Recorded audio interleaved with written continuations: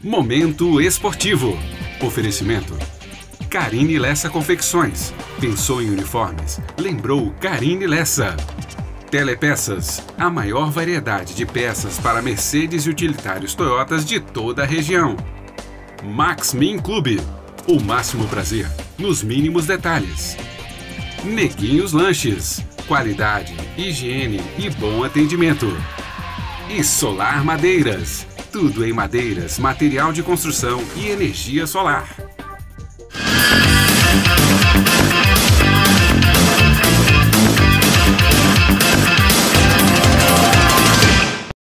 Olá, no oferecimento da Karine Lessa Confecções, Neguinhos Lanches e Restaurante, Solar Madeiras e Maxime Clube, está começando mais uma edição do nosso Momento Esportivo com as seguintes manchetes.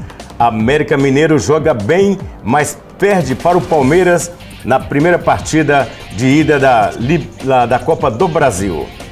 Vem aí mais uma nova equipe para disputar o Mineiro de Futebol, o Montes Claros Esporte Clube, que já contratou o seu treinador.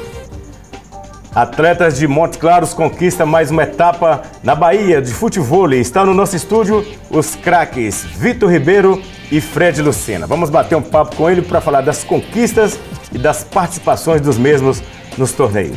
Essas e outras notícias agora no nosso momento esportivo.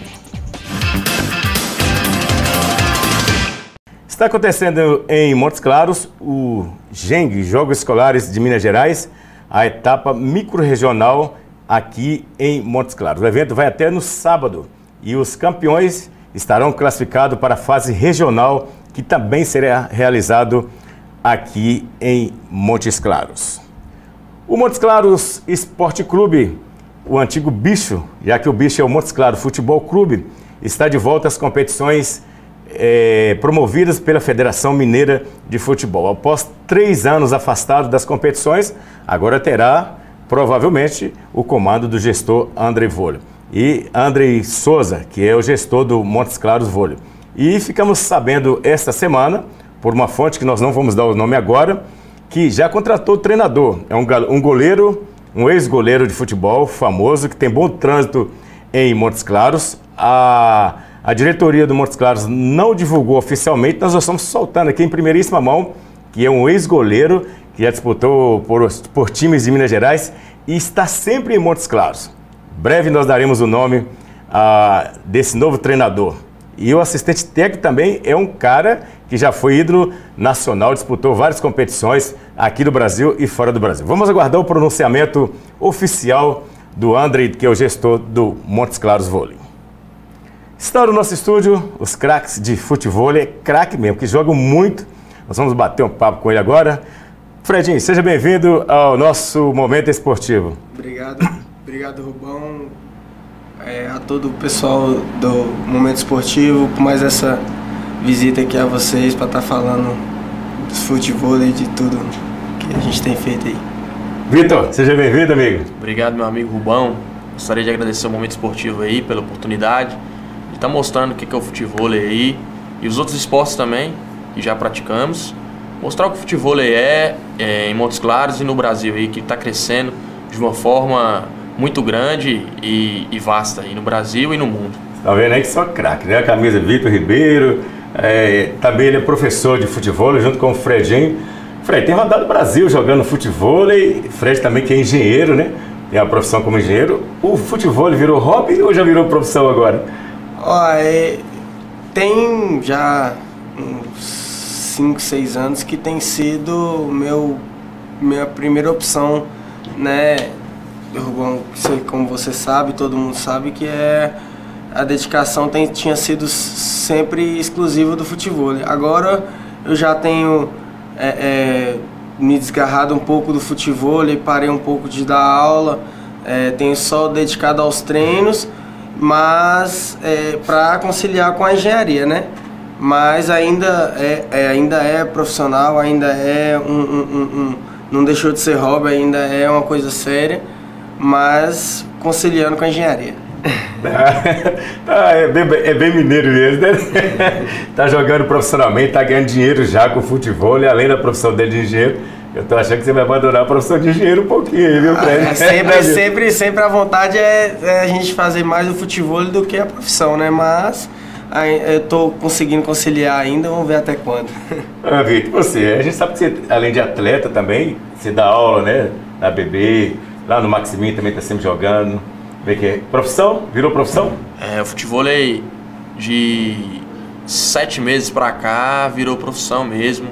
É, como atleta, é, como professor, eu tive a oportunidade de conhecer o esporte há seis anos atrás, é, vindo do professor Jean, também que é conhecido, e Fred, foram meus primeiros treinadores. Nessa época eu ainda jogava futebol profissional é, no Funorte, né? Joguei contra o Montes Claros aí, que vamos falar daqui a pouquinho. Uhum. É, e conheci esse esporte e me apaixonei. Sempre me dei muito bem com o esporte, porque os principais quesitos para praticar esse esporte é a condição física. E como joguei futebol profissional, já tinha condição física e fui aprimorando a técnica. Aí, de um tempo para cá, fui jogando torneios, mesmo com o Fred, com o Alonso também, que foi jogador profissional de futebol craque, Só craque. jogando com eles e chegando, sim, me dando muito bem, ganhando experiência. O Fred me ajudou muito aí para ganhar essa experiência, me levou, né? É, me, me deu essa moral de estar tá indo com ele para os torneios, porque uma coisa é você jogar aqui em Montes Claros e outra coisa é você estar tá fora, né? O nível é bem mais alto, é bem diferente. E foi dando certo. Aí até que eu tive o convite da BB, é, Silvano me convidou, Silvano juntamente com o Mauro e o outro Mauro também, me convidaram para participar de um projeto que eles estavam querendo fazer de futebol, que hoje, graças a Deus, estamos aí chegando aos 90 alunos no clube, Pô, muita gente. 90, 90 praticantes. Praticantes tem 130, O 100, fute- o- A BB, já desculpa te, te cortar, é, ajuda porque tem muitos jogadores de futebol e ex-jogadores, né? Sim, a BB Porque, apesar que nem precisa ser jogador de futebol para ser jogador de futebol. Não, eu que eu diga, né? Não, eu que diga.